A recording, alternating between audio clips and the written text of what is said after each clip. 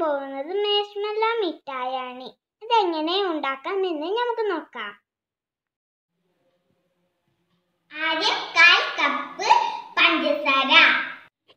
പിന്നെ നമുക്ക് വേണ്ടത് മുപ്പത് ഗ്രാം ജലാറ്റിൻ ആവശ്യത്തിന് കോൺഫ്ലോർ പൊടി. ആവശ്യത്തിന് വെള്ളം.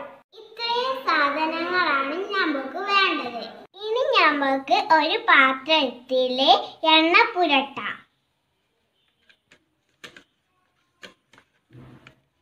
നമ്മളിപ്പോൾ പാത്രത്തിന്റെ സൈഡിലൊക്കെ എണ്ണ പുരട്ടിയിട്ടുണ്ട്.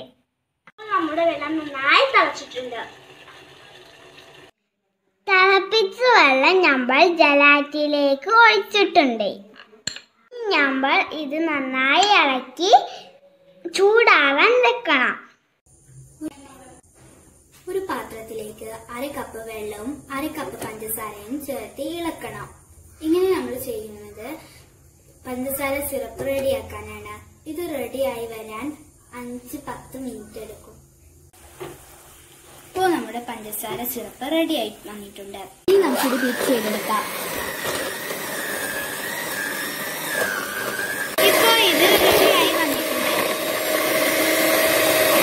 ഇത് നമ്മൾ എണ്ണ പുരട്ടിയ പാത്രത്തിലേക്ക് മാറ്റിയിട്ടുണ്ട്.